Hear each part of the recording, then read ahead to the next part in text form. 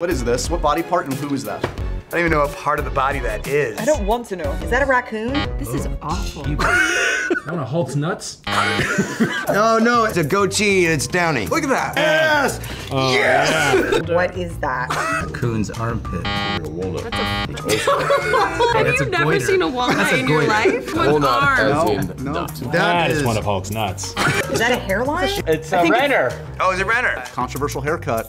I don't know. cool is that haircut? Oh no. How horrible. That Back looks of like their a neck. Ew. Okay, that's a forehead. That's someone's forehead. Yes. It's enough. Bryan Cranston.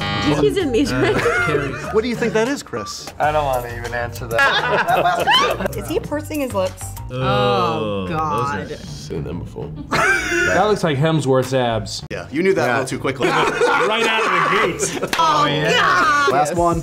That's an ass. Oh. My ass. Oh, that's my tush. It's a box.